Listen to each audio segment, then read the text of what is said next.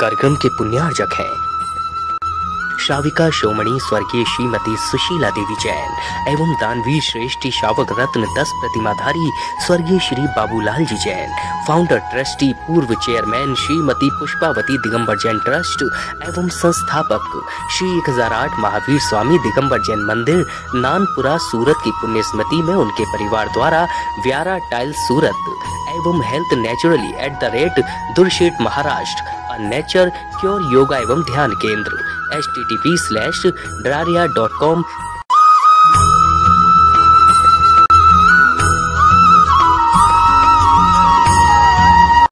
जय श्री ओम नमः सिद्धेभ्य पंच परमेष्टि भगवान की।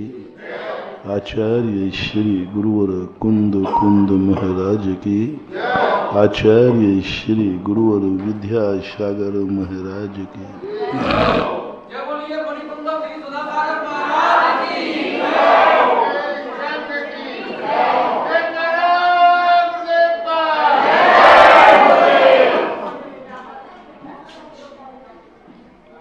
महान आत्माओं की एक विशेषता देखी हमने। कि उनके उनके जीवन में दुख भी आवे, संकट आवे, परेशानियाँ आवे वे सारी व्यथाएँ कथा बन जाती हैं। कैसी बात? एक पापी जीवन के व्यक्ति के जीवन में दुख आवे तो वो अपराधी बन जाता है। तुच्छ व्यक्ति है, तुच्छ विचार है, स्वार्थी है, वासनालु है। दुनिया को जिसने दुख दिया है, उसके जीवन में कभी दुख आता है। तो वो अपराधी बनता है, दुर्जन बनता है। और जीवन इतना निंदनीय हो जाता है कि उस मार्ग पर तो क्या उसका नाम भी कोई नहीं लेना चाहता। लेकिन जो दुनिया के लिए जी रहा हो जिसने सौ और पर को कभी दुख नहीं देने का भाव किया हो। जो सदा दूसरों को सुखी देखने की जिसकी आदत हो। सदा धर्म की ध्वजा को ऊँची फहराने का भाव करता हो। ऐसे व्यक्ति को यदि दुख आ जाए, लोग दुनिया उसे दुख को कथा बना देती है। कथा बना देते यदि ऐसे अपराधी को, व्यक्ति को जेल हो जाए तो वह जेल भक्तांबर पाठ बन जाता है।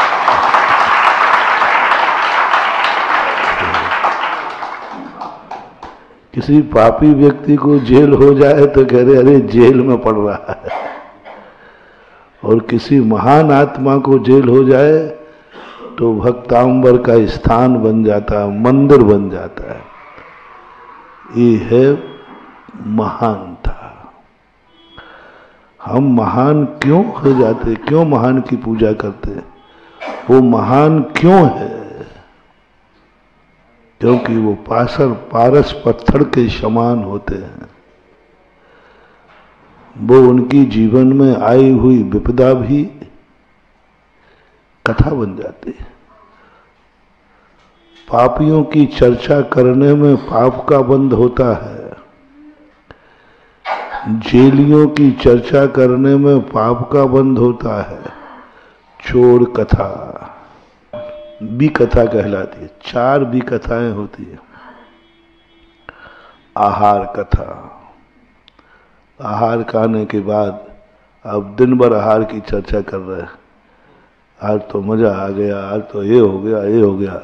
अरे भाई, अब काय को भी फालतू परेशान हो रहा है। और बुरा हो गया आहार, यार आज तो दिमाग बिल्कुल बेकार है, बोले क्या? ये कहलाती बी कथा और शास्त्रों में आया कि आहार जैसा भी हुआ, हो गया, अब उसकी कथा मत करो। एक स्त्री कथा होती है। अब दिन भर तुम स्त्रियों की कथाएँ करते रहो। अब वो तो तुम्हारी किस्मत में जैसी लिखी थी, वो तो मिल गई। अब उसकी भलाई करो चाहे, बुराई करो, कुछ नहीं होने वाला। गोपाल दास जी बरैया, वो कहते हैं कि अब क्या बुराई करना, वो तो कुछ चीज़ें ऐसी होती हैं जिनको यथावत स्वीकार कर लेना चाहिए, क्योंकि वो बदली नहीं जाते। जो कार्य बदला नहीं जाता, उसकी चर्चा नहीं करना चाहिए। क्योंकि बदला ही नहीं जा सकता। कैसा भी हो माँ बाप कैसे भी हों, वो बदले नहीं जाते। उनके बुराई करने से कोई फ़ायदा नहीं है, क्योंकि वो तो तुम्हारा जन्म हो चुका। अब उनकी बुराई करने से कोई फ़ायदा नहीं है, भी कथा कहलाती है। क्योंकि बल्दियत एक ऐसी है, जिसको कभी भी बदला इसी प्रकार हमारी भारतीय संस्कृति में आपका एक बार विवाह हो गया, उसको बदला नहीं जाता। स्त्रियों को तो खास तौर से कह दिया गया, जैसा मिले ये कहते ना, पति परमेश्वर। मैंने सोचा, ये परमेश्वर कहाँ से हो गया? तुम लोग बोलते हो तो हम सोचते हैं। फिर मुझे पता चला कि स्त्री जाति एक ऐसी है कि उसको जो भी मिला, जैसा भी मिला, उसकी अदला बदली नहीं हो सकती। स्त्री के विवाह को काठ की हंडी के समान कहा है, जो कुछ नहीं बता सकता। भारतीय संस्कृति बता रहा हूँ। आजकल की तो मामला बदला नहीं, उसमें जैसा मिला, कोड़ी मिला तो स्वीकार है। पागल मिला तो स्वीकार है। जो जैसा मिला, उसकी बुराई करने से कोई फ़ायदा नहीं। एक्सेप्ट करो, उसमें बदलाहट नहीं। बेटा हो गया, कुछ नहीं कर सकते। जैसा है, वैसा एक्सेप्ट करो। इसी प्रकार, जो तुम्हारा जीवन में आया है, राजा का भी। चौथी कथा थी राज कथा राजा की बुराई करने से कोई फ़ायदा नहीं है, क्योंकि वो तो राजा मिल चुका, हो चुका, उसमें कोई बदलाहट नहीं। बल्कि राजा की बुराई करने से कितनी बड़ी बात कह दी। जैनाचार्यों ने हम लोगों को वृत्ति को, जो जैन मुनि कहीं नहीं डरता, वृद्ध राज्यातिक्रम, राजा के विरोध में कुछ मत बोलो, क्योंकि वो राजा है। रामचंद्र जी जब वनवास जाने लगे तो सीता को संबोधन करते हैं कि मैं वनवास जा रहा हूँ, बस तुम्हें एक नियम लेना है कि तुम जब तक मैं यहाँ लौट के नहीं आऊ, तब तब तुम मेरी प्रशंसा नहीं करोगे। और राजगद्दी पर जो मेरा भाई बैठेगा, उसकी बुराई नहीं करोगे। राजमाता की बुराई नहीं करोगे तो सीता कहती है, मेरे से कैसे हो सकेगा? जिस माता ने, जिस बेटे ने हमारा सर्वनाश कर दिया, उसकी मैं बुराई नहीं करूँ? और मैं आपकी प्रशंसा नहीं करूँ? ये संभव नहीं होगा मेरे से। बोले, ये नियम तो लेना ही पड़ेगा। लेना ही पड़ेगा। तुम मेरी प्रशंसा नहीं करना। जनता तुम्हारे पास आएगी। भरत से कभी गलती होगी। तुम्हारे पास आएगी कि देखो, राजा राम गद्दी पे बैठे होते तो आज ये दुख तो तुम प्रशंसा मत कर देना। राजगद्दी पर बैठने के बाद राजा किसी दूसरे की प्रशंसा सुन नहीं सकता। इस गद्दी का सबसे बड़ा दोष है। इस गद्दी पर बैठते बैठने के बाद बेटा भी बाप की प्रशंसा नहीं सुन सकता। राजगद्दी का सबसे बड़ा वीक पॉइंट बता रहा हूँ। यदि राजा के सामने ये राजगद्दी पर बेटा बैठा और किसी ने कह दिया, इससे अच्छा तो तेरे बाप का राज्य था। तेरे पिताजी राजा थे ना, तब बहुत शांति थी, बस खत्म हो गया। उसको बर्दाश्त नहीं होगा। वो सुन नहीं सकता। उसको आग लग जाएगी। क्योंकि राजगद्दी पर बैठने के बाद राजा का कोई बाप नहीं होता। क्योंकि वो सबसे बड़ा अपने आप को मान लेता है। बाप को भी अरेस्ट कर दे, क्या करेगा? कोई कानून नहीं है। राजा अपने मम्मी पापा को अरेस्ट करे, कोई कानून नहीं बचा सकता, कर सकता है। क्योंकि राजा है। हमारे शास्त्रों में ऐसे भरे पड़े कोई जैसा राजगद्दी पर बैठा, सैनिक जैसा राजा, आदेश दे दिया, बंदी बना लो। सैनिक बंदी बना लिया मैं तेरा बाप हूँ, मेरी चल बोले हाँ बाप बाप कुछ नहीं होता।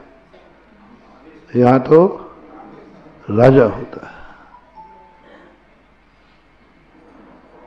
राजा होता उनका विरोध, चर्चा नहीं। सीता बस इसी बात को पकड़ ली। वैसे तो वो समझ, समझा रहे थे रामचंद्र जी, तुम्हें वनवास नहीं जाना। सीता कोई जवाब नहीं दे पा रही थी। बस इसी बात पर उन्हें पकड़ लिया, जिस राज्य में सत्य की प्रशंसा नहीं हो सकती और असत्य का प्रतिकार नहीं कर सकते ऐसे राज्य में मैं नहीं रहूँगी। मैं नहीं रह, मेरे, आएगी ही नहीं, मेरे मन में प्रशंसा आएगी। प्रजा प्रशंसा करेगी। प्रजा को भी रामचंद्र जी ने यही आशीर्वाद, उपदेश दिया, जब तक मैं यहाँ नहीं हूँ, कोई भी प्रजा राजा के सामने मेरी प्रशंसा नहीं करेगा। प्रजा का अंतिम संबोधन था ये। रामायण के अनुसार। जो सीता को संबोधन है तो सीता ने तो कह दिया कि मैं तो साथ चलूँगी। लेकिन प्रजा को जब उपदेश दिया कि तुम लोगों को एक यदि तुम मुझे चाहते हो, यदि तुम मुझे चाहते हो तो प्रजाजनों एक ही नियम लेना, जो अयोध्या की राजगद्दी पर बैठे, उसके सामने मेरी प्रशंसा मत करना। कितने दुख आवे, लेकिन ये मत बोलना, काश आज राजा राम होते तो ये नहीं होता। ये शब्द नहीं बोल रहा प्रजा भी कह दिया कि साहब, ये तो नहीं हो सकेगा। मैं भी साथ चलूँगा, मैं नहीं रहूँगा। आपकी प्रशंसा किए बिना मैं जी नहीं सकता। और आप जैसा राजा कोई हो नहीं सकता।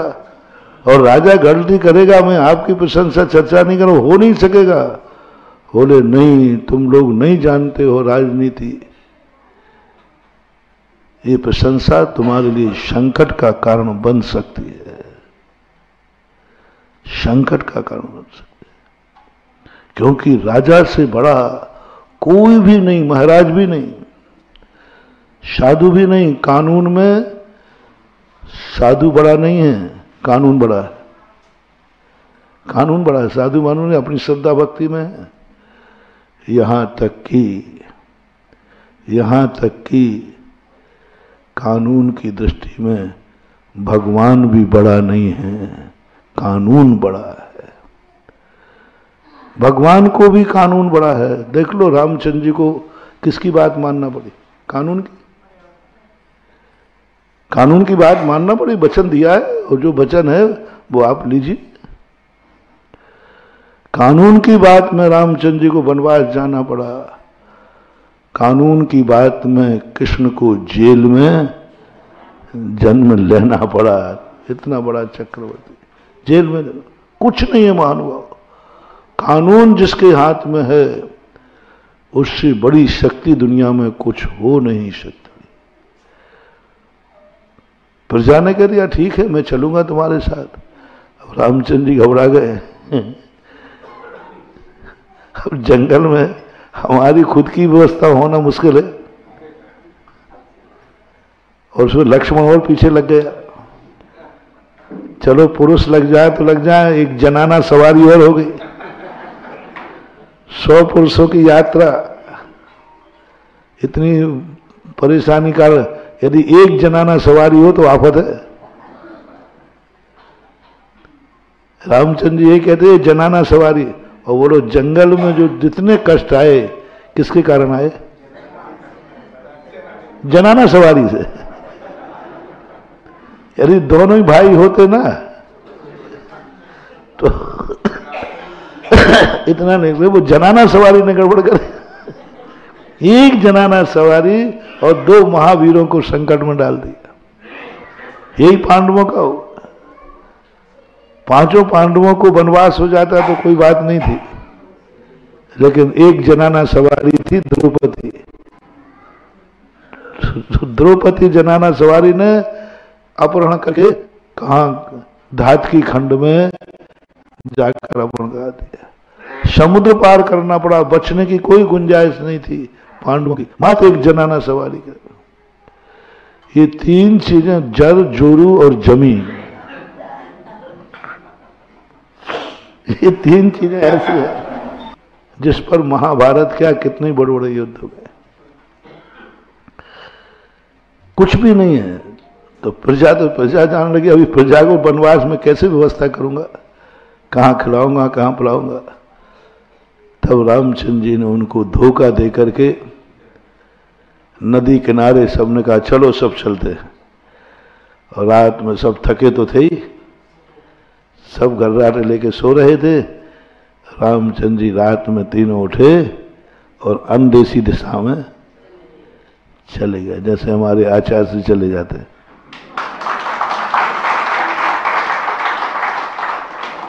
कोई मतलब नहीं पूछे पाछे नहीं, इतने भटकते हमारे आचार्य श्री तो हम लोग कहते महाराज जी, देखो, पहले पूछ लेते तो भटकते तो नहीं बोले, भटकने की तो मज़ा है। ऐसे भटक जाते हैं कई बार। सन उन्नीस सौ इक्यासी में पूज गुरुदेव ऐसे ही चल पड़े। किसी को नहीं बताया। दो रास्ते थे, एक में समाज थे, एक में समाज नहीं थी। अब वो किसी को बताना तो है नहीं। अब स्वयं को पता नहीं है। और बोले, ये रास्ता ठीक दिख रहा चल दिए। अब उस रास्ते में सन उन्नीस सौ इक्यासी में संघ बहुत छोटा था। नौ साधु, सात साधु थे। और साठ किलोमीटर तक कोई समाज नहीं। सब कह रहे, महाराज जी, आपको जाना कहाँ है? बता दो, ये रास्ता ठीक नहीं। वो तो बतावे को तैयार नहीं। महाराज जी, कहाँ जाना है? आप बता दो तो रास्ता आपको हम रोकेंगे नहीं। ये तक कह दिया। हम सही रास्ता तो बता दें, ये पता नहीं कहाँ जा रहा है, जंगल की तरफ़ जा रहा है। अरे चले गए। अब जंगल, घनघोर जंगल, आदिवासियों का जंगल, हम उस समय छुल्लक थे। अब वहाँ जाकर के दस बज गए तो कोई झोपड़ी भी नहीं। एक आदिवासियों के खप्पड़ का एक बरांडा था, वहीं जाके बैठ अब आप आगे पीछे नहीं। नागपुर के पास थे तो नागपुर के एक जजानी परिवार था, वो चौका लेके भागा। अब जंगल में महाराज है तो एक चौका मुश्किल से आ पाया। वो भी मुश्किल से, साठ किलोमीटर के, वो बहुत दूर था नागपुर। आते ही अब सब भोजन पानी तो बन गया। पड़गान के अब वो क्या बोला? महाराज जी, मैं पाटा लाना तो भूल ही गया। अब जल्दी जल्दी में पाटा भूल गया। अब महाराज को बैठा लेकर आए एक पाटा था तो वो आचार से काम आ जाता। पर और महाराज थे कैसे बैठे? तो मेरे हम लोग पास आए। महाराज जी, आज गड़बड़ हो गया फाटा नहीं ला पाए। और उस जंगल में पत्थर भी नहीं। पत्थर से तो वे गोल गोल बटैया छोटी छोटी होती ना। मैंने कहा, ऐसा करो, जंगल में पत्थर मत्थर देखो। बोले, महाराज, वो सब ढूंढ के आ गया हूँ। अब इसकी समस्या कौन समाधान करे? तो हम लोग आचार्य से ऐसे दूर बैठे थे, सामने पेड़ के नीचे। हम लोग आचार्य भैया वृत्ति की। भैया, महाराज, ये बताओ, पहले जंगलों में महाराज चौके लग जाते थे। महाराज होते तो उस समय पाटे नहीं होते तो क्या करते होंगे उच्चारण?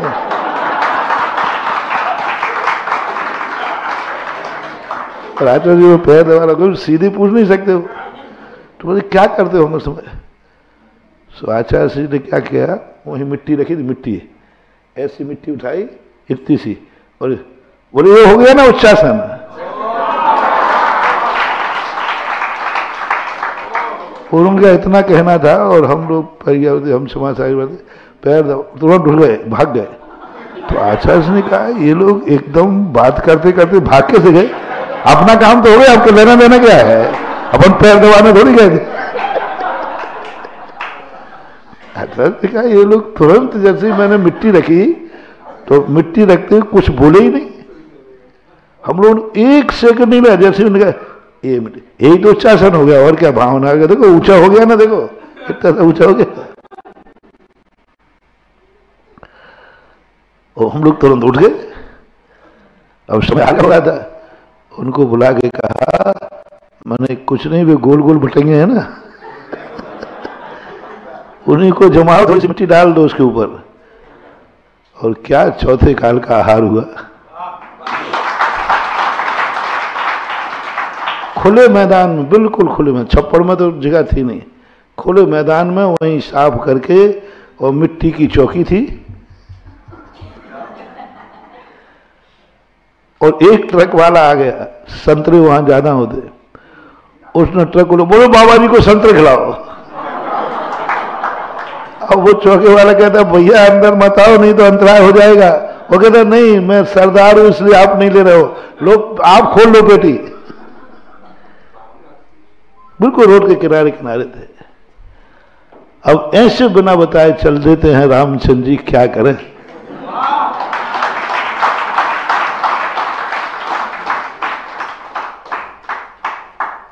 एक बार आहार करके ही चल दिया। अब बेचारे श्रावक भोजन करेंगे नहीं। चौके में से चल दिया। चौके से सीधे ही निकल गए। एक बार यहाँ भी हुआ था। तुम्हारे ग्वालियर से आगरा आए थे जब। राजस्थान जा रहे थे सेवेंटी नाइन में। तब ग्वालियर से सीधा बिहार किया चौके से ही। और सीधा मुरैना उस दिन 41 किलोमीटर शाम तक चले। जितना भी हो, ग्वालियर से मुरैना। और लश्कर लश्कर से चले थे। और रास्ते में 9 किलोमीटर पे सामायिक की। और फिर रास्ते में सबसे कह दिया, रास्ते में कोई लघु शंका गया तो उसकी जिम्मेवारी मेरी नहीं होगी। है ना सूसू बंद करा दी सबकी। क्योंकि उतनी देर में एक किलोमीटर आगे निकलूँगा मैं। शाम को पहुँचे तो समय। उस समय भी हार से निकल गए। अब कोई रास्ता बताने वाला नहीं। एक बाहर का व्यक्ति था, उसको भी पता नहीं। अच्छा एक छोरा बोले, इससे पूछ लो रायगीर था, एक बकरी चला भैया हीवर खेड़ का रास्ता कहाँ जाता है? तो बाबा जी चले जाओ सीधे। और सीधा रास्ता बताने के बाद वो बहुत ज़ोर से हंसा। तो मैंने कहा, आचार्य सी वो हंस रहा है। कहीं ऐसा गलत रास्ता तो नहीं बता दिया? तो आचार्य से अपन ने उसका क्या बिगाड़ा जो गलत बताएगा? वो हमारे दिगंबरत पे हंस रहा होगा। नंग रहता ना, इस पे हंस रहा होगा। और उसने गलत रास्ता बता दिया, कड़ाके की ठंड। यही महीना लगभग दिसंबर जनवरी का। इतनी कड़ाके चलते चलते चलते इतना अंधेरा हो गया, जंगल में। घनघोर जंगल जंगल पार हुआ। ऐसे देख के चल रहे कुछ अता पता नहीं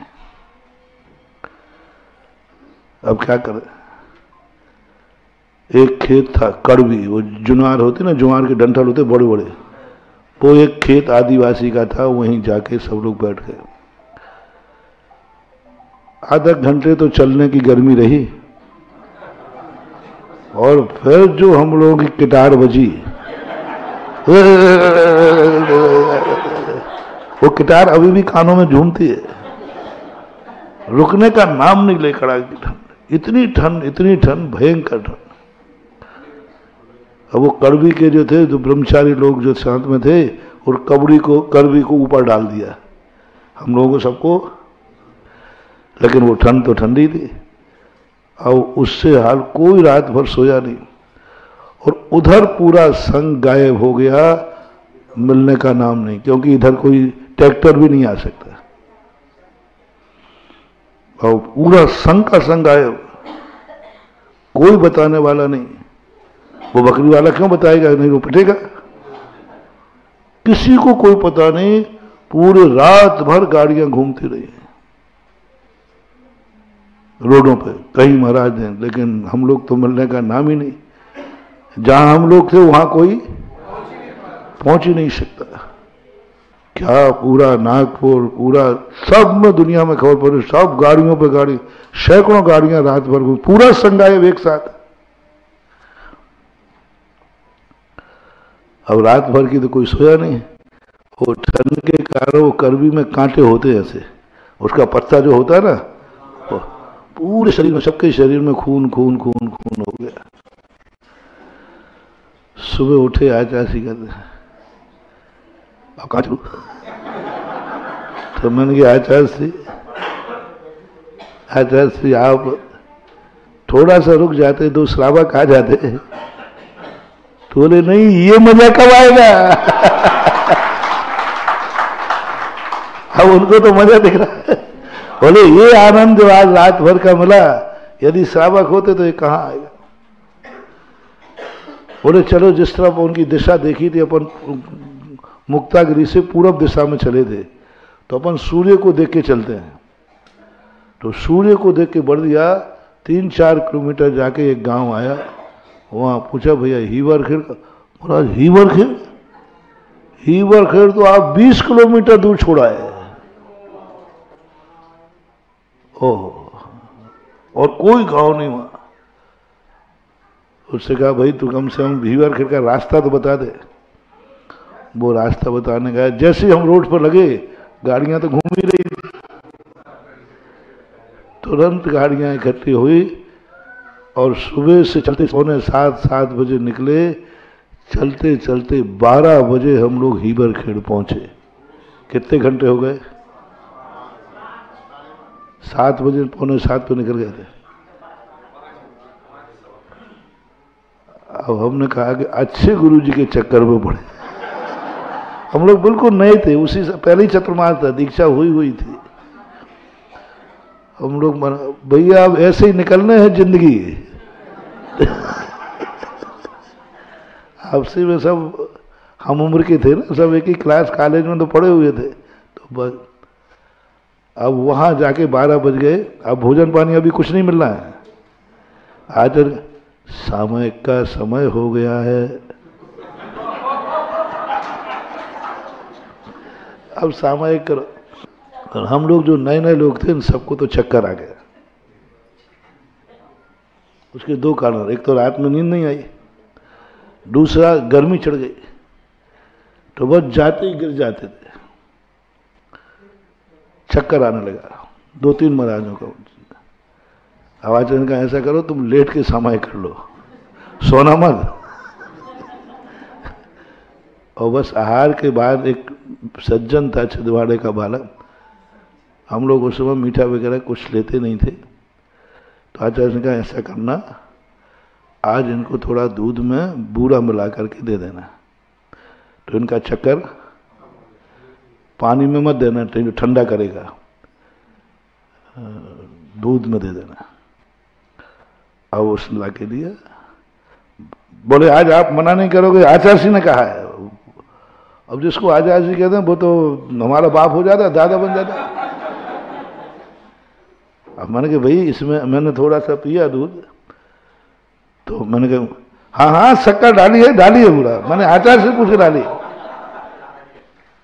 अब मैंने फिर पिया अब मैं करूँ क्या? वो तो गले के अंदर ही नहीं जा रहा क्योंकि वो सब बूरे की कटोरी नहीं थी, वो नमक की कटोरी थी।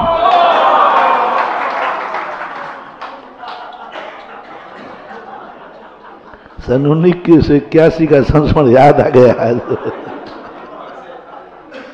अब मैं कहूँ, वो कह रहा हाँ हाँ मैंने डाला है। अरे, मैंने तेरे बाप, मैंने नमक डाला है कि क्या डाला अब हालत ये है कि यदि यदि मैं नीचे डाल देता हूँ, अब मैं नया मुल्ला था तो नवाज़ जाना पड़े तो मैंने कि अंतराय करना पड़ेगा, क्योंकि हाथ में दी हुई वस्तु नीचे नहीं डाल सकते, ऐसा हमें मालूम था। तो अब वो नीचे डाल नहीं सकते कि भाई डाल करके, या तो अंतराय करो या पियो। दो ही रास्ते मेरे पास थे, या तो अंतराय कर दू और या पियो अब तुम बताओ, एक कटोरे दूध में, चुल्लक जी कटोरे जैसे इनका है ना एक में कटोरा भर आप नमक डाल के दिखाओ, फिर कोई पी के दिखाओ तो जाने। और अंतराय करूँ तो अभी एक स्थिति खराब हो रही थी। तो जैसे तैसे पिया। लेकिन पछने का तो सवाल नहीं, जैसे पिया, पूरे ही नहीं पिया उसमें उल्टी हो गई। उल्टी होती बमान हो गया। अंतराय हो गया। तो आचार्य से बोले, क्या हो गया? बोले अच्छा ये तो सब आपकी कृपा है। हमें आचार्य कहते मुझे सब आपकी कृपा है। तो बोले, मेरी क्या कर मैंने तेरे लिए अच्छे के लिए कहा था। अब तेरी किस्मत ही खराब थी कि बुरा भजन क्या करो? आचार्य ने बहुत मज़े लिए, देखो, ये कहलाता है, मैंने नियम तोड़ाया इसका, और इसका भला भला सोचा लेकिन किस्मत विपरीत होती है तो बूरा के स्थान पर क्या डल गया? नमक डल गया। और दोनों एक से दिखते हैं दोनों एक से दिखते हैं। लेकिन अब आचार्य से तो आचार्य बिना पूछे चल देते बहुत बार ऐसा होता है। अभाना के अंदर बैठे थे, हम लोग सब स्वयंभू पढ़ रहे थे। आचार्य से उठे, कमंडल लेके चल दिए। तो हम लोगों ने समझा कि शायद सोच जा रहे होंगे जल्दी। सोच जा रहे होंगे तो इसलिए चलो, हम लोग अपनी भक्ति कर रहे थे, आ जाएँगे लौट के। एक लड़का साथ हो, कोई साथ नहीं। अब वो आचार्य से कहते, वो लड़का कहते, महाराज जी अब कहाँ जा रहे हो?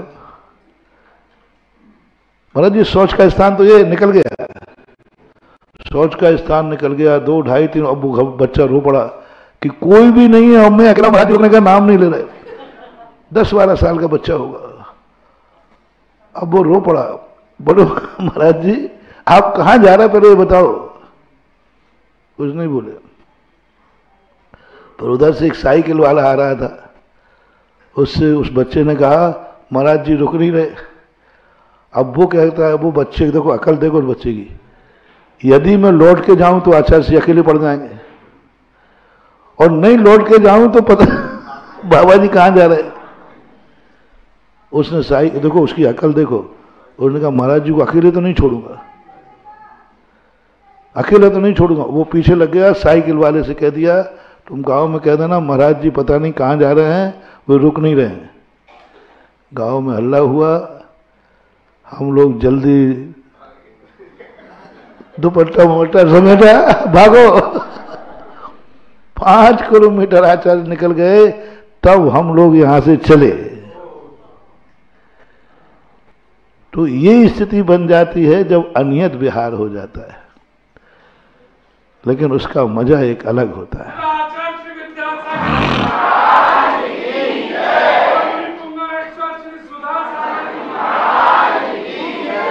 ये बीतरागता का चरम लक्षण है कि संग से भी उनको मोह नहीं। आओ तो आ जाओ, नहीं आओ तो तुम जाना, तुम्हारा काम जाना। हमारे संग में आचार्य से कभी किसी को भोजन नहीं हो तो कोई व्यवस्था नहीं करते। शुरू शुरू में पाँच ब्रह्मचारी थे। पहले ही चतुर्मास हुआ, वहाँ मुक्तागिरी में, हमारी दीक्षा के बाद, पहला चतुर्मास। रास्ते में महाराज लोगों को तुम पड़गान कर लेते हो। ब्रह्मचारियों को तो ब्रह्मचारियों को तो कई बार पूछते ही नहीं। महाराज का पड़गान हो गया, हम लोग आज, और पाँच ब्रह्मचारी कमरे मंदिर में बैठे। कोई लेने नहीं आया। कोई लेने नहीं आया। अब 12 बजे जब आचार्य श्री लघु शंका को निकले तो ब्रह्मचारी मंदिर के दरवाजे बैठे थे। बोले, क्यों ब्रह्मचारी यहाँ क्यों बैठे? बोले, अभी कोई आहार को बुलाने नहीं आया। देखना, हम हम लोग, हम भी साथ में थे मतलब ब्रह्मचारी नहीं, हम हम चुल्लक थे। तो आचार्य श्री ने ये नहीं कहा हम लोगों से कि इन ब्रह्मचारियों को भिजवा दो कहीं। नहीं। श्रावक खड़े उनसे नहीं कहा ब्रह्मचारियों को ले जाओ। क्या कहते हैं? ब्रह्मचारी जी बारह बज गए। आधी टाइम तो निकल गई, उपवास ही ले लो। मैंने कहा, ये तो भूखों मारेगा सबको। मतलब इतना सा भी नहीं कि किसी से कहते ब्रह्मचारियों को बोले कहते अब बारह तो बजेगी, अब डेढ़ बज जाएगा। उपवास ले लो पुण्य लग जाएगा। और कह के आचार्य से लघु संज्ञा चले गए। यानी उनकी निरीह वृत्ति की जो चर्या हमने देखी शुरू से, और वो निरीह वृत्ति ही सबसे बड़ी साधक की और वो अपन जो रामचंद्र जी की बात सुना रहे थे ना, अभी इसमें सब जोड़ दूँगा चिंता नहीं करना। सब मटेरियल फैल गया है, वेल्डिंग करेंगे अपन। उधर रामचंद्र जी ने सबको रात में छोड़ते हुए ये धोखा नहीं था। बोलो, रामचंद्र जी ने सबको सोते हुए छोड़कर रात में चुपचाप भाग जाना धोखा था? नहीं, ये व्यवस्था थी। बोलो, यदि सबको छोड़ के नहीं जाते तो क्या स्थिति बनती? कौन व्यवस्था करता, क्या करता? अब उनका वो संकट भी राजकथा की बात कर रहा हूँ। इसलिए रामचंद्र जी ने वहाँ कहा, राजा की कथा नहीं करना और मेरी प्रशंसा नहीं करना और राजा की निंदा नहीं करना। कितना भी राजा निकृष्ट हो, क्योंकि राजा अपनी निंदा सुनना पसंद नहीं करता। कितने सज्जन हो। आपका तो भैया भरत है, वो भी नहीं सुन पाएगा। आप तो बड़े भाई हैं। बड़े भाई की प्रशंसा भरत नहीं भरत छोटा था कि बड़ा? तो रामचंद्र जी प्रशंसा क्यों नहीं सुन पाएगा साहब? बोले, भरत तो रामचंद्र की प्रशंसा सुनेगा, लेकिन राजा भरत नहीं सुन पाएगा। ये गद्दी का सबसे बड़ा दोष है। भरत तो सुन लेगा भैया की प्रशंसा कि हमारे रामचंद्र जी ऐसे हैं। लेकिन राजा भरत, क्योंकि राजगद्दी का ऐसा है, राजगद्दी के बाद बैठने के बाद उस व्यक्ति को कोई बड़ा नहीं दिखता, क्योंकि उसके हाथ में कानून होता है। किसी को भी बंदी बना ले, किसी को भी कुछ कर ले। इसलिए जैन आचार्यों ने कहा, राजकथा नहीं। राजा के दोषों पर विचार नहीं, वृद्ध नहीं चलना।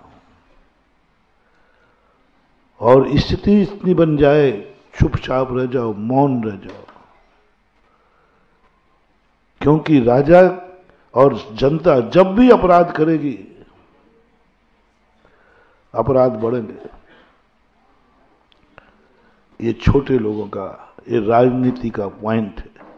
ये संसार नीति का पॉइंट है। एक बेटे को भी तुम तीन चार बुराई तीन चार दिन बुराई करके देख लेना। देख लेना। वो दो तीन दिन बाद पापा टोका टाकी कुछ ज़्यादा ही हो रही है। नहीं हो तो तुम करके देख लेना देख लेना। एक हैं, पापा देखो आप पापा हैं इसलिए मर्यादा रख रहा हूँ। आप थोड़ी अति हो गई और थोड़ा बड़े होने के बाद दिखे पापा, वो वो खुद ही कह देगा, पापा मैं आपकी बराबरी का हो गया अब भी आप हमें बुद्धू समझते। कोई नहीं सुनेगा। अच्छा वो और से छोड़ो, तुम दो तीन दिन अपनी पत्नी की बुराई करके देख लेना। करना तो सही, और नहीं हो तो उसके पीहर की करके देख लेना।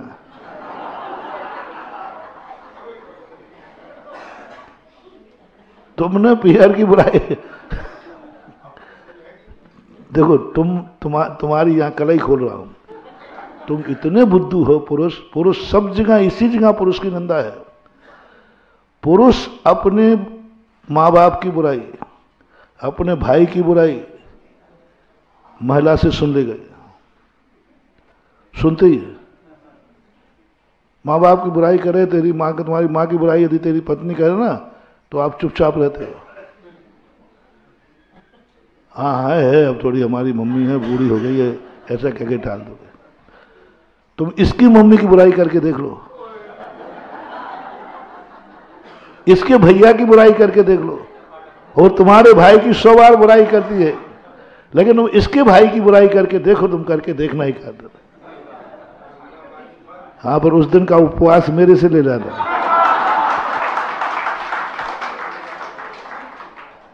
पियर की बुराई सुन ही नहीं सकती है। इसलिए कभी भी कैसी भी पत्नी हो, बुराई नहीं करना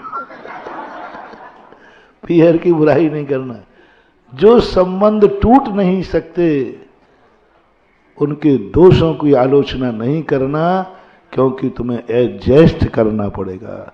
मोटिवेशन लो। जो संबंध कभी टूट नहीं सकते उनको तुम्हें निभाना ही है, जैसे बने तैसे। क्योंकि टूट ही नहीं सकता।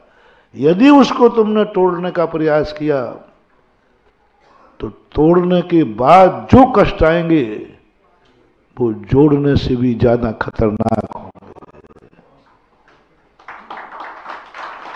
जो संबंध तुम्हारे जुड़े हैं ना, उसमें जो तुम्हें संकट आ रहा है, क्लेश आ रहा है, तोड़ने के बाद उससे डबल आएँगे।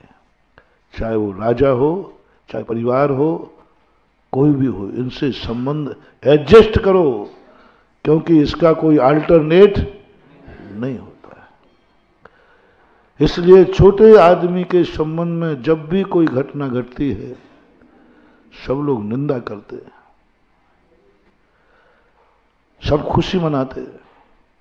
और महान आदमी की विशेषता बता रहा हूँ महान आत्मा के जीवन में जो कुछ भी संकट आता है, वो कथा बन जाती है। उसकी चर्चा करने में पुण्य है।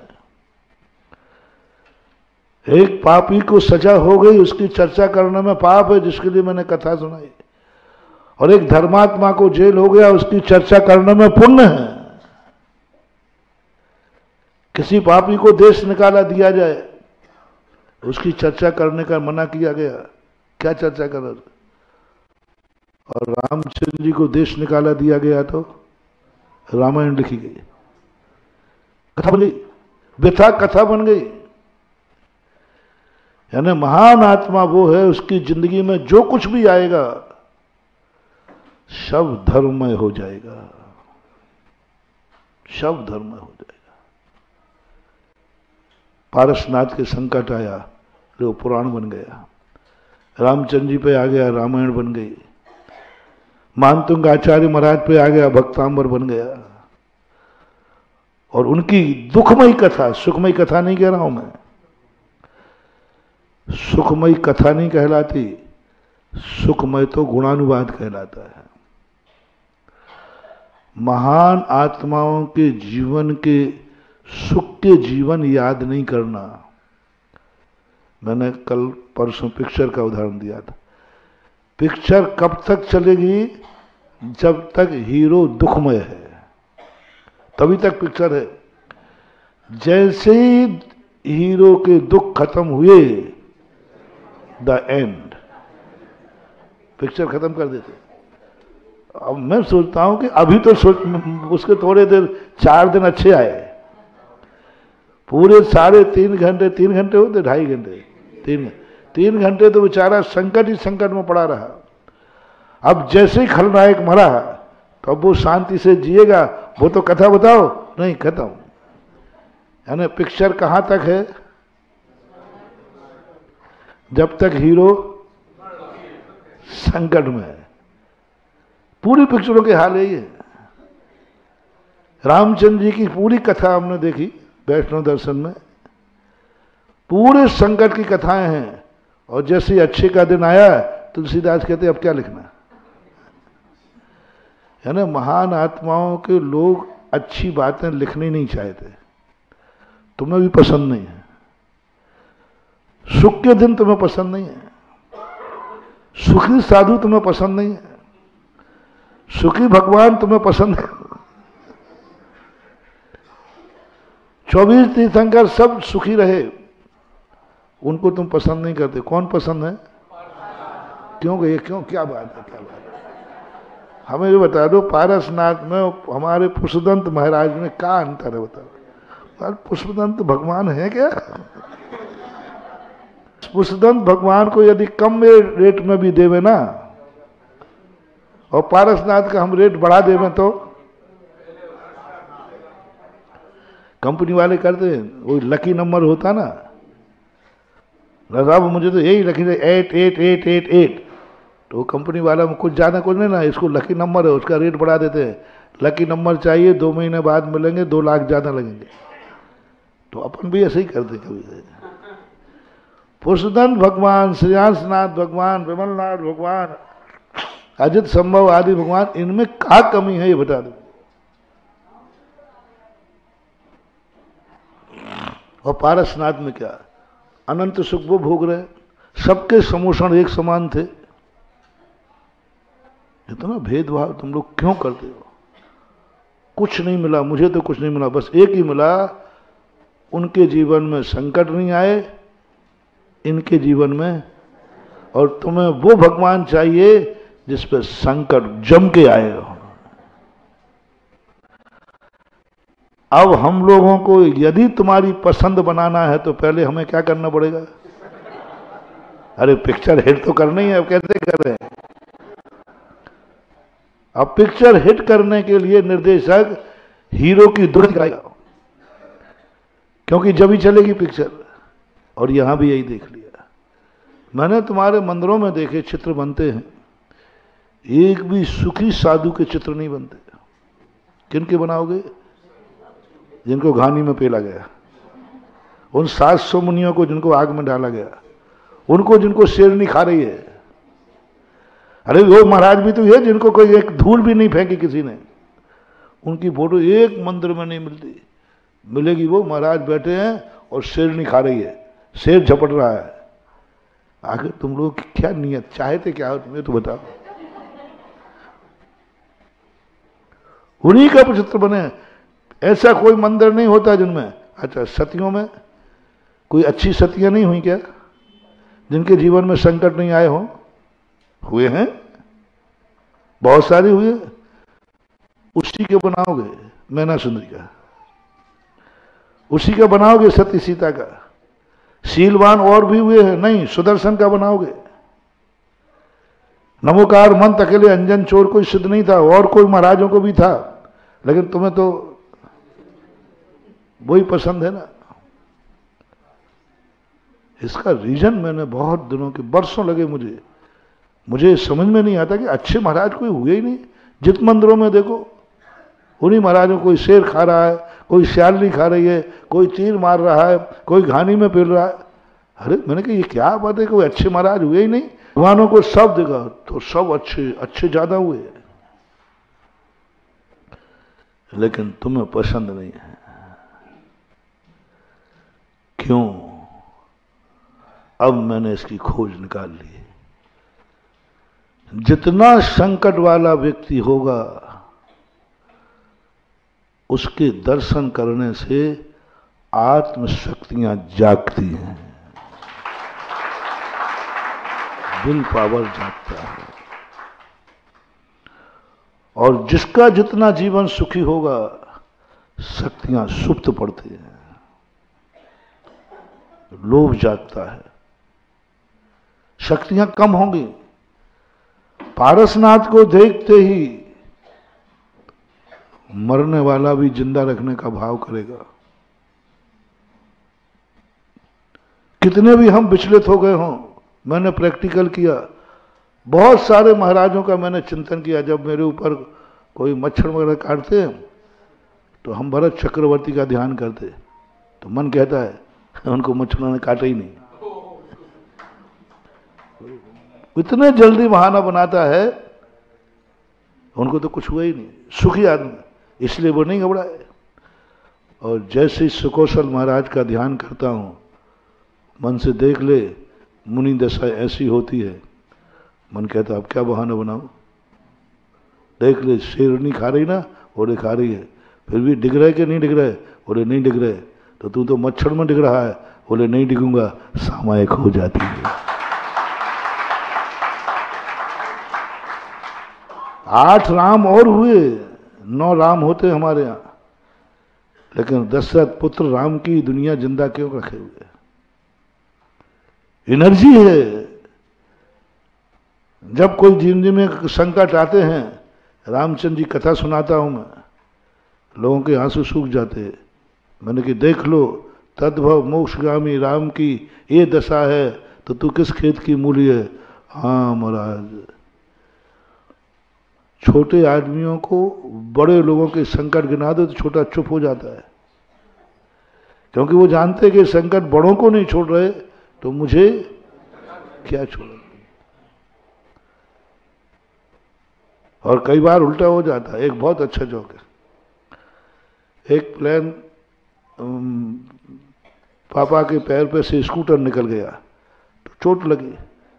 बेटा स्कूल से, पापा क्या होगा बेटा बेटा, मेरे पैर पे से स्कूटर निकल गया। तो छोकरा बस पापा, इतने ही में रोने लगे।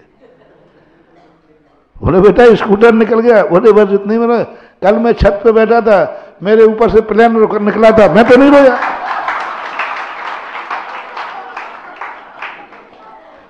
अब बोलो बोलो प्लेन निकला था कि नहीं? पर मैं तो नहीं रोया आपके ऊपर स्कूटर निकल गया, पापा होकर रो रहे हो।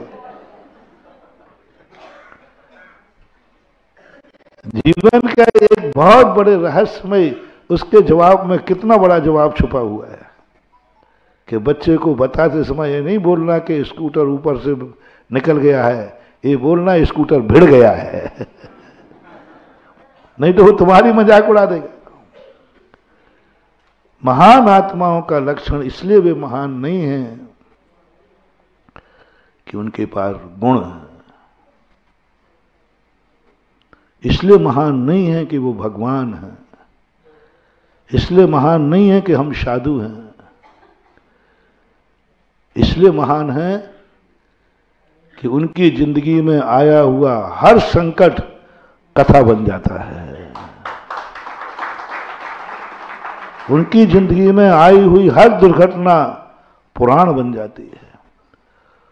उनकी ज़िंदगी के आए हुए दुखों के दिन को याद करने से भक्त को भी पुण्य का बंद हो जाता है। भक्तांबर का वो श्लोक पढ़ो ना, आस्ताम तो मस्त, वन मस्त मत दोषम। तो संग कथा जगताम दुर्तानी हंती है भगवान, हमें आपके गुणों से क्या मतलब है?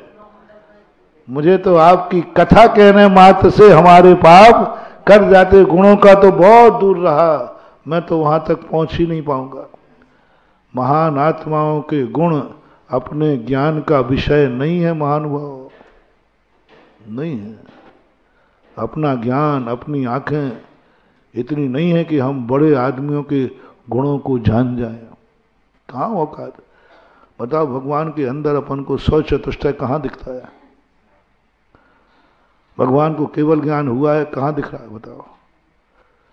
हमारे अंदर रत्नत्र है, तुम्हें कहाँ दिख रहा है? महान आत्माओं के गुण देखे ही नहीं जाते।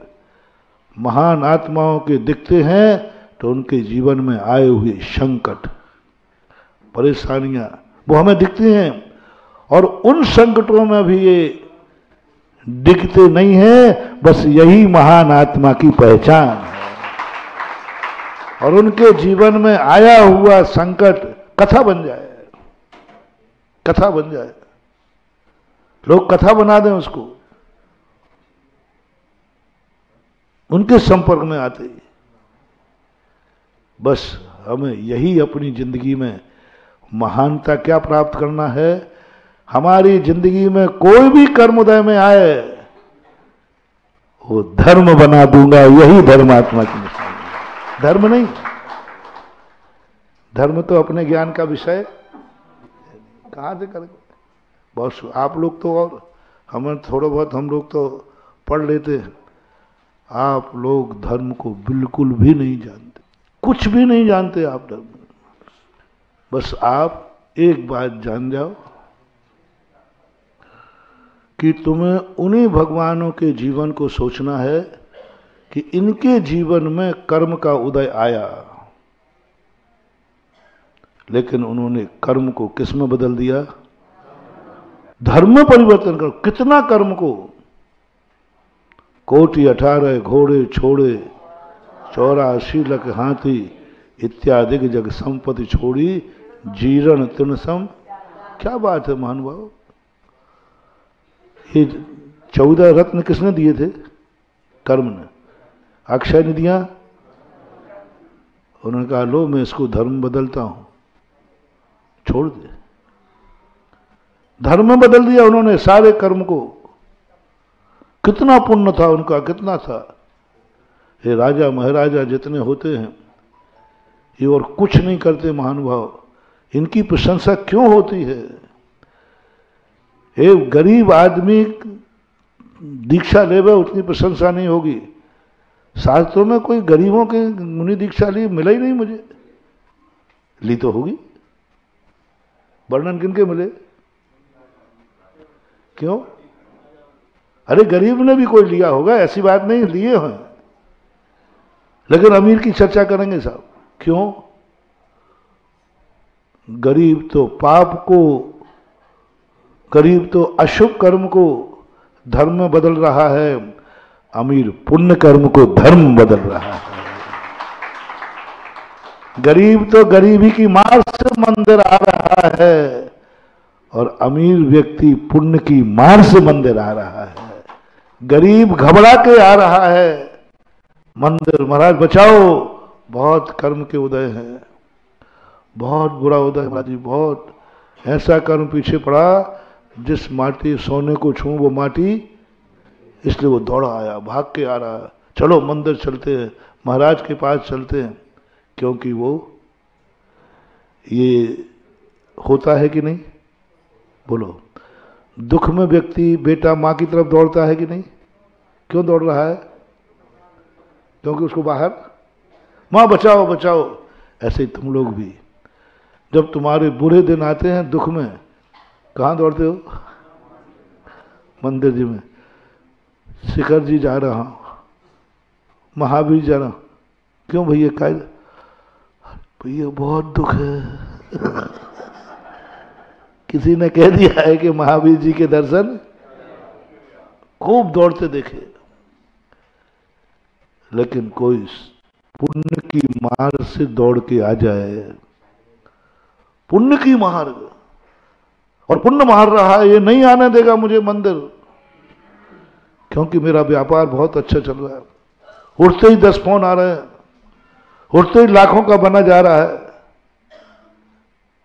अब देखना, एक व्यक्ति वो दौड़ा जिसके सुबह से कोई एक कौड़ी की इनकम नहीं थी बेकारी था। अब उसने कहा, क्या करूँ? चलो मंदिर जी में चलता हूँ। अब एक व्यक्ति कौन आ रहा है, किसको? जिसको टाइम नहीं। करोड़ उठते ही करोड़ों रुपए का बना जा रहा है। लाखों का बना जाए सामने। इनकम है लाखों की। उस समय तुम्हारे मन में घबराहट हो जाए। गरीबी की मार से भी ज़्यादा दुख बता रहा हूँ। आज ये मंदिर छुड़ाएगा। आज ये अभिषेक नहीं करने देगा।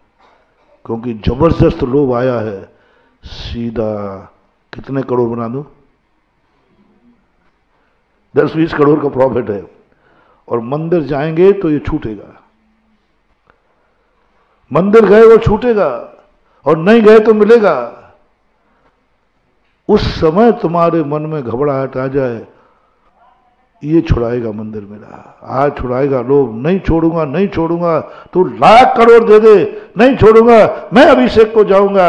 लो, कर्म को थका दिया, धर्म बदल दिया।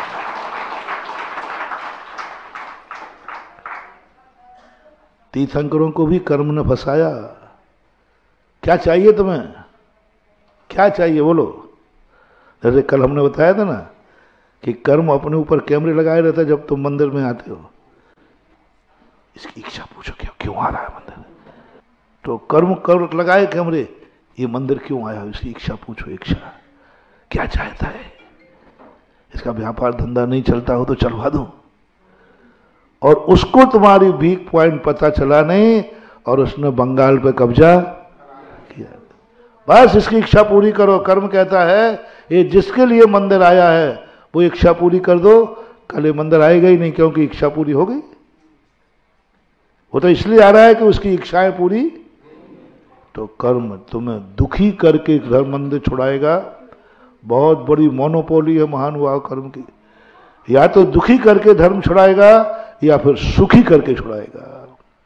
लो, तुम्हें क्या चाहिए? आप काय के लिए मंदिर जा रहे हो? बात तो सही है अब काय के लिए जा रहे हो? आप काय के लिए मंदिर जा रहे हो? इसलिए कई बार लोग महानुभाव घबरा जाओ। बस इसी पुण्य को, इसी कर्म को हमें धर्म में परिवर्तित करना है। नहीं, कितना भी पुण्य आ जाए, मैं इसके लोभ में आने वाला नहीं हूँ। रत्नों की वृष्टि करा दी तीर्थंकर को, और क्या चाहिए तुम्हें? हे लो कितने रत्न चाहिए? हे लो तुम्हें ज़िंदगी भर कभी मरोगे नहीं, वरदान दे दिया। अब काय को दीक्षा ले रहे हो तुम? किस लिए? माता तसला यही तो पूछती है महावीर स्वामी से, बेटे, क्या कमी है घर में? मुझे बतलाना। कमी बतलाओ। क्या कमी है मेरे घर में, बता तू पहले एक बात है, चला जा, दीक्षा लेना तो ले ले। बस ये बता दे, क्या कमी है बता दे। अब बोलो, महावीर, क्या कमी बताए? अपने माँ बाप में, घर में। तुम तो फिर भी बता दोगे, तुम्हें तो मालूम है। तुम कह दो, ये कमी है, ये कमी है। महावीर क्या बताया? माँ पूछती है, मुझे कुछ नहीं चाहिए। कल दीक्षा ले तो ले, पर ये बता दे यहाँ कमी क्या है तुझे। किस बात की कमी है? मैंने कुछ कह दिया क्या?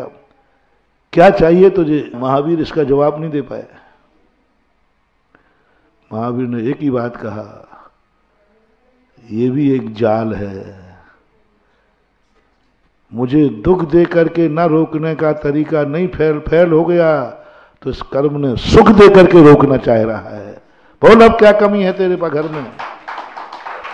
अब किस लिए तू दीक्षा ले रहा है? महावीर ने क्या माँ को संबोधन दिया? माँ तू नहीं समझ पा रही है। ये कर्मों की मोनोपोली, ये संसार की कूटनीति कि इन्होंने जब मेरे लिए बहुत दुख दिए और वो दुख जब मुझे काबू में नहीं कर पाए तो उसने कहा, पुण्य का फांसा फेंको।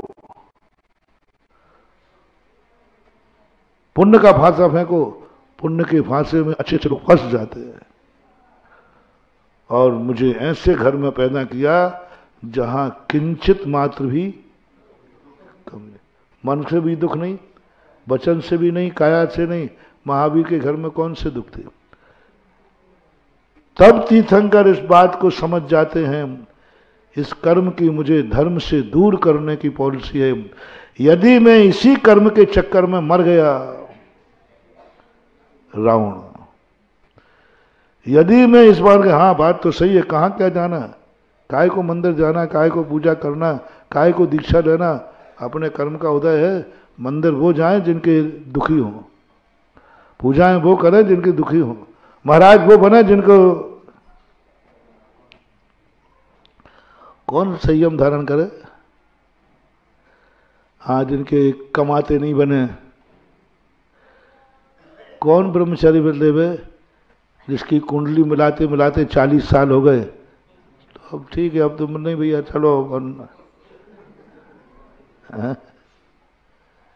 नहीं महानुभाव नहीं। उसको ठुकराना है जो सब तरफ़ से तुम्हारे सामने बैठे हैं। महावीर स्वामी के लिए कन्याएँ बर वाला लेके खड़ी है। पारसनाथ के लिए नहीं, ये पुण्य का जाल है। बोलो, इस कन्या में कमी क्या है? महावीर कहते, कमी तो कुछ नहीं है, पर ये मुझे फंसाने का जाल है। ये पुण्य उदय में आ रहा है, मैं किसी प्रकार रुक जाऊँ, और इसी कर्म में संसार की सबसे बड़ी पॉलिसी है, इनका मूल नायक है कर्म। और ये कहे की नीति बनाता है किसी भी प्रकार से जीव धर्मात्मा न बन जाए। इसलिए कर्मों ने एक भी प्रकृति नहीं रखी जो तुम्हें धर्मात्मा बनाता हो। कुछ भी नहीं मानो। कोई दुनिया में ऐसी चीज़ नहीं है जो धर्मात्मा बनाती हो। है ही नहीं। और ये उसने दो रूप लेकर के किसी को पाप के उदय ऐसा ला देगी कि वो मंदिर ही नहीं आ पाएगा। अंधा कर देगा। अंधा कर देगा। और किसी को इतने राग रंग दिखा देगा कि उस राग रंग में इतना हो जाएगा पतंगे जैसा। पतंगा होता ना पतंगा? जब बिजली पे घूमता है ना तो उसको दुनिया कुछ नहीं दिखती। क्या दिखता है? इतना आकर्षण दे दिया, इतना आकर्षण वो सब भूल जाएगा। पतंगा में जा जाके उसे मर जाएगा। कर्म ने भी कहा, इसको इतना रूप राशि दो कि इसको देखने के अलावा इसको भगवान के दर्शन करने का भाव ही ना आ पाए। ना आ पाए। करने नहीं देगे तुम्हें तुम्हें माला फेरने का समय नहीं दे, माली इतना रख देगा, नोट गिन। माला फेर लो साहब, नोट की गिट्टी कह रही है। अब देखना, लोभ देखना। एक गरीब को इतना दुख दे दिया कि बेचारा माला फेर नहीं पकता, उंगलियाँ पैरालिसिस हो गया। और एक अमीर को कर्म ने, संसार ने कैसे रोका? बोले, माला फेरना उसी समय नोट की गिट्टी पड़ गई। अब ठुकराव बेटा दो में से एक करना है, या तो नोट गिन लो, या माला फेर लो। नोट नहीं गिनो तो नोट जाएगा, माला नहीं गिनो तो माला जाएगी। आज हो ही जाए, जो कुछ है सो है। आप बता दो, नोट की गिट्टी नहीं गिनी तो वो नोट की गिट्टी चली जाएगी। और माला नोट की गिट्टी गिरी तो माला चली जाएगी। दोनों में से एक कहानी आती है कि एक व्यापारी था, वो सामायिक करता था, सामायिक। किराने की दुकान थी। अब वो उसने सोचा, कोई ग्राहक नहीं है, चलो माला फेर लेते हैं। तो माला फेरने बैठ गया, उसी समय कुत्ता गुड़ की भेली ले गया। अब वो कहता है, भेली जाए, भेली पकड़ू तो माला जाए। और माला पकड़ू तो? इसी में करते करते करते करते क्या करूँ? भेली को पकड़ू? तो माला जाए, माला अभी पूरी हुई नहीं। और माला फेरूं तो? इसलिए हमारे यहाँ कहा गया ऐसे स्थान पर माला फेरो, जहाँ गुड़ की भेली ना हो। जहाँ पर नहीं, तुमने तो सोचा दोनों ही काम हो जाएँगे। दुकान खुली भी रहेगी और अंत में दोनों में हुआ पोई में मरते मरते, बात करते करते, इतना हुआ, क्या करूँ क्या करूँ क्या करूँ क्या करूँ, उसी समय हार्ट अटैक हुआ, मर गया, गुड़ में जाकर के कीड़ा बना। एक कहानी। गुड़ में जाकर के कीड़ा बन गया, क्योंकि यही निर्णय नहीं कर पाएँगे। माला फेरूं कि क्या करूँ?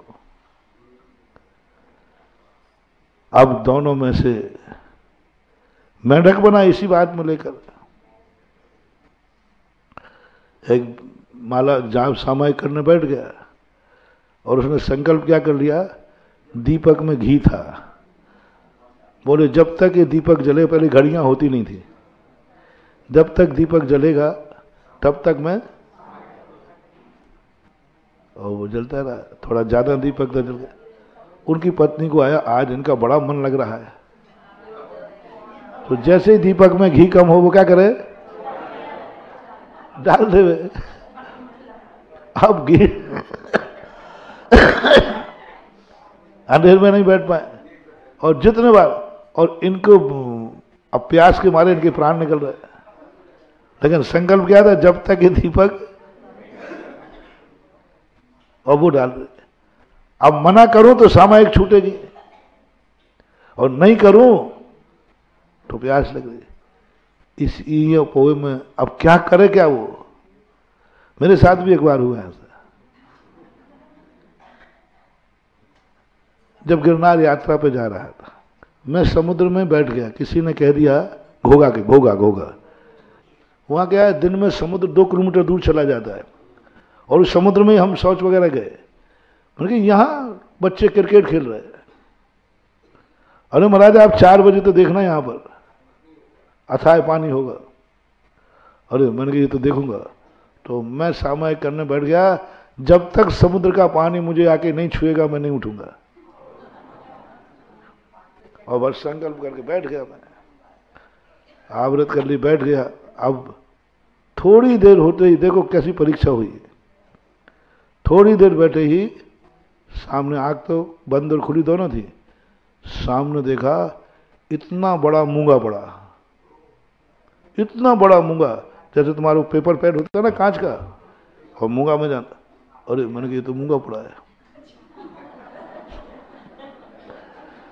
अब पीछे मुड़ के इशारा करूँ तो मैंने नियम ले लिया कि मैं पीछे देखूँगा नहीं। सामने और दो मिनट पहले दिख जाता है।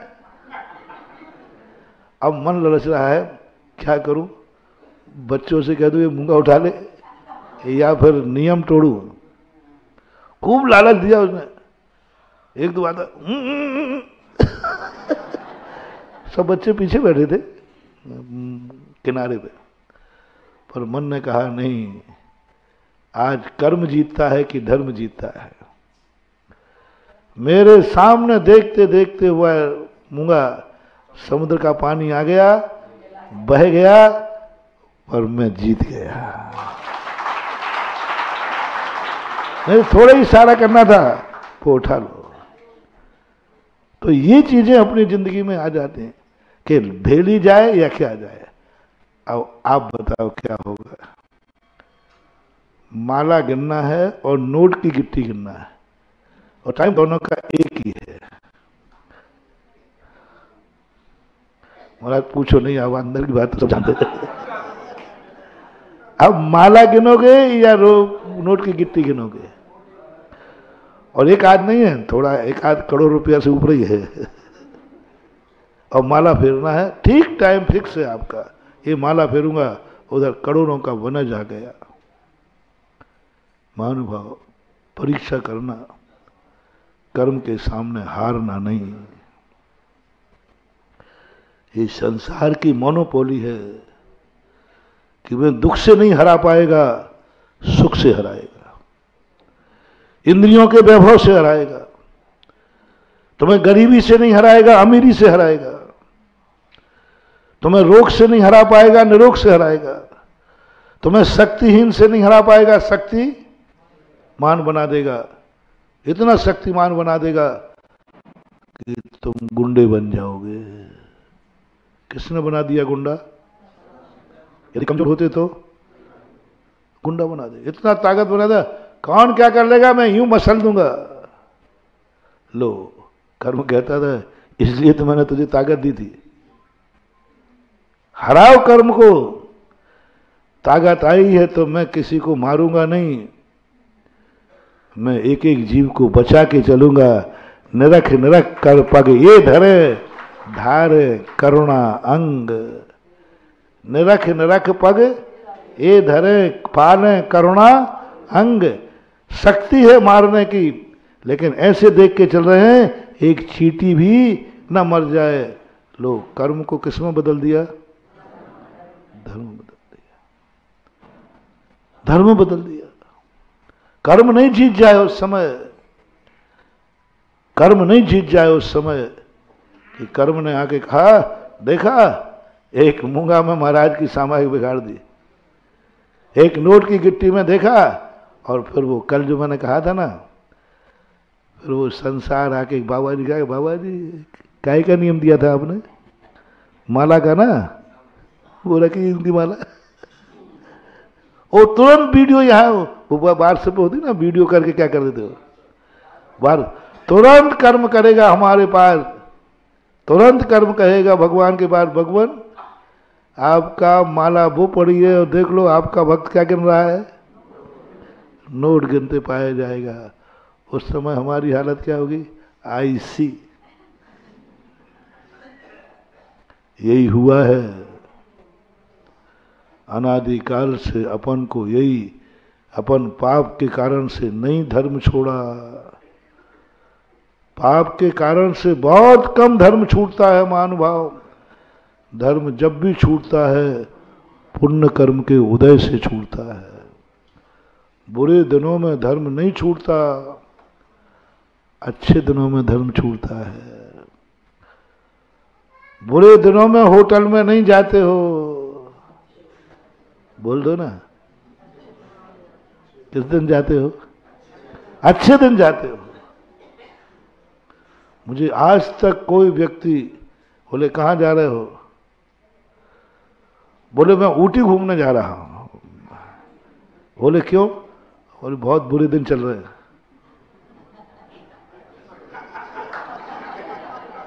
नहीं, कोई हो तो भाई तुम बताओ मुझे।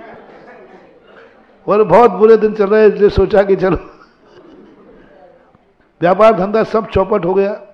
कुछ नहीं बचा है। सब तो इसलिए मैं, यदि ऐसा कोई मिल जाए हो मैं ऐसे व्यक्ति को दर्शन करने के तरस रहा हूँ। अब महावीर जी जा रहे हो कोई, रेल में कोई मिल जाए, पूछना, क्यों भाई, क्या बात है? महावीर जी क्यों जा रहे हो? बोल दो। अरे भैया, बहुत बुरे दिन चल यानी तुम धर्म में आए हो तो बुरे दिन में आए हो और होटल में गए हो तो अच्छे दिन में आए। मैं तुम्हें कोई ज़्यादा परेशान नहीं करूँगा। चार पाँच दिन से तो कर ही रहा हूँ। ज़्यादा परेशान नहीं करूँगा। बस इतना ही कहूँगा, होटल में जाना बंद नहीं कराऊँगा। खूब जाना होटल में। बस बस बस, दुख के दिनों में होटल में। सुख के दिनों में मंदिर में, बस बस। बस बस बस हम जाना कुछ करेंगे ही नहीं गड़बड़ होटल बंद नहीं ना देखो, कितना सीधा साधु। ये तो नहीं कह रहा नहीं, कोई होटल में नहीं जाएगा। क्या करो सब? मैं जानता हूँ, तुम होटल नहीं छोड़ पाओगे। बस इतना जितने दुख का दिन आए, उतनी अच्छी, महँगी होटल में जाना। है गार्डन खूब तुम मस्ती। और जिस दिन सुख का दिन आए, उस दिन अभिषेक का लोटा लिए मंदिर में दिखना, जाओ मेरा काम हो गया। महाराज जी, फिर आप होटल का समर्थन क्यों कर रहे हो? मैं जानता हूँ, दुख के दिनों में तू होटल में रहेगा तो भी मेरा ही नाम लेगा। दुख के दिनों में गार्डन में रहेगा तो भी भगवान ही, क्योंकि दुख में सुमरन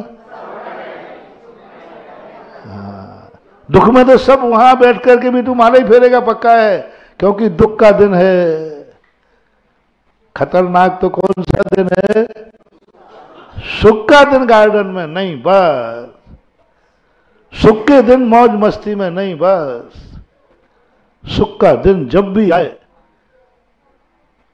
धर्म में। सुख का दिन जब भी आए, मंदिर में। सुख का दिन जब भी आए, गुरु के पास। बोले, कैसे बता रहे अरे महाराज, आज बहुत अच्छा दिन था तो अच्छा दिन मैं गुरु को देना चाहता हूँ। हमने भगवान को दिए तो दुख के दिन दिए, धर्म के लिए तो दिए तो दुख के दिन दिए, हम गुरु को दिए तो दुख के दिन दिए, और जो देता है वो ही पाता है। क्या दिया तुमने? तो दुखी पाओगे। अब थोड़ा करके देखो। सुख का दिन धर्म के लिए देके देखो, सुख की लहर लहराएगी, फ़सल लहराएगी। सुख के दिन देखो, अच्छे दिन। अच्छे दिन देखे को देखो जब अच्छे दिन है। आज मेरा बहुत अच्छा दिन है। इतना सा परिवर्तन कर लो। आज के बाद हमारे नगर का कोई भी व्यक्ति का जन्मदिन, शादी की सालगिरह, नया वर्ष शादी के बाद घूमने का क्रम, ये होटलों में नहीं होगा, सब तीर्थ क्षेत्रों में होगा, इतना सा कर लो हाँ मैंने घूमने का आगम में लिखा, आप शादी के बाद घूमते हो। मैंने समझी, ये परंपरा कहाँ की आई? घूमने की परंपरा है ना? कहीं ना कहीं घूमने पैसा नहीं है तो कर्जा लेके जाओगे। वो साहब और नहीं तो ज़िंदगी भर एक कौन सा घुमाया था? मैं थोड़ा फैंसी ड्रेस बहुत अच्छी कर लेता हूँ। और बहुत गौर से सुनता हूँ, जब आप लोग लड़के आते हो ना हाँ महाराज, इनने हमें कौन से सुख दिए हैं? पूछो, शादी के बाद कहाँ ले गए थे? अब मैं कोट कर मेरी स्मरण शक्ति बहुत तेज है। मैं तुरंत पकड़ लेता हूँ। उस समय कुछ नहीं बोलता हूँ, पर मौके पे बोलता हूँ, जैसे आज बोल रहा हूँ। फिर मैंने शास्त्रों में खोजा कि ये बात इतनी टीस कर रही है इसको कि इसके पति ने घुमाने नहीं ले गया तो आज भी उलायना दे रही है पचास साल की होने के बाद भी, वो तो ज़िंदगी भर देगी वो तो। आखिर ये उलायना ऐसे ही तो नहीं होगा। अंदर कोई टीस लगी है, फिर मैंने इसको शास्त्रों में खोजा कि ये घूमने की परंपरा आई कहाँ से। सुनो महानुभाव, पूज्यवर जिनसेन स्वामी महापुराण। शादी के बाद तुरंत घर में प्रवेश किए बिना उसी मंडप से सात दिन के लिए सिद्ध क्षेत्र पर घूमने के लिए आदेश दिया गया है। उसी मंडप में दोनों ब्रह्मचर्य व्रत लेंगे। सात दिन का। सात दिन, तीन दिन, दो ऑप्शन तीन से लेकर इन तीन दिनों में वो धर्म क्षेत्र पर, सिद्ध क्षेत्र, पहला लिखा, सिद्ध क्षेत्र पर गुरुओं के पास जाकर धर्म ध्यान पूर्वक व्यतीत करेंगे। फिर तीन या सात दिन व्यतीत करने के बाद बाद फिर घर में प्रवेश होगा। और मैंने कही घूमने की परंपरा तो आगम में लिखी है, लेकिन लेकिन लेकिन कहा लिखी? और तुम्हारी कहाँ होती है? और संयम के साथ, असंयम के लिए नहीं घूमना। संयम लेकर घूमते हैं दोनों प्राणी। और बढ़िया भगवान की भक्ति करते हैं, फिर दोनों मिलकर के आते हैं। हम अपन ने, दोनों ने धर्म किया है। बस और ज़्यादा तुम्हें डिस्टर्ब नहीं करूँगा। अच्छा दिन। क्योंकि वो तुम्हारी ज़िंदगी के लिए अच्छा दिन है। धर्म ध्यान का दिन है। और बुरा दिन कभी आ जाए उस दिन थोड़ा मन बहलाने के लिए ऊटी घुमाना। मन बहलाने के लिए तुम जहाँ जाना है, जाओ। ये है कर्म को धर्म में बदलना। अब शादी एक कर्म है। शादी एक कर्म एक आपकी गृहस्थी का है। कर्म है। और सम्यक दृष्टि कहता है भगवान, कर्म है। मैं ये कर्म कर रहा हूँ। विवाह एक कर्म है। लेकिन मैं आपका भक्त हूँ भगवान। इसी कर्म को शुरुआत मैं धर्म से करूँगा। कर्म की शुरुआत धर्म से करूँगा। प्रथम सात दिन, तीन दिन मेरे धर्म से होंगे और मैं धर्म से कहूँगा कि हमारा गृहस्थी जो कर्म था, उसकी शुरुआत धर्म से हुई थी। अब दोनों मिलकर पहले हम धर्म करेंगे, बाद में कर्म करेंगे। पहला धर्म, और धर्म से मंगलाचरण शुरू हो। महानुभाव, जाओ तुम कितने भी कीचड़ में चले जाना, तुम्हें जंग नहीं लगेगी, क्योंकि कर्म को जिसने धर्म से शुरू किया है, वो सोना बन करके जिएगा कीचड़ में भी। कादे में हेम अमल है, जल से भिन्न कमल है। समय आपका हो गया। कर्म को। मैन सूत तीन दिन का क्या था? दो दो मोटिवेशन दिए। कभी भी इनकम तुम अपनी तरफ़ से करना, कमाई अपनी तरफ़ से करना, सब कुछ तुम्हारा होगा। खर्च तुम्हारी मर्ज़ी से मत करना। खर्च किसकी मर्ज़ी से करना? पूज्य पुरुष से। याद है ना? पूज्य पुरुष, माँ बाप, गुरु भगवान और जिनवाणी। भोजन बनाना, भोजन खूब कमाना, लेकिन खाते समय अपनी मर्ज़ी से नहीं खाना। किससे खाना? पूज्य पुरुष से कहने पे खाना। तो अपनी ज़िंदगी का व्यय पूज्य पुरुषों से पूछ के करना एक। दूसरा मोटिवेशन दिया, कर्म को। क्योंकि हमारा पूर्व कर्म का धर्म, कर्म ने कब्जा कर लिया है। पूर्व के धर्म ने कर्म का रूप ले लिया है। और अपन को अब कर्म को धर्म का रूप देना है। महावीर भगवान के। बोले परम पूज मुनि पुंगवे स्वाद श्री सुधा सागर जी महाराज की।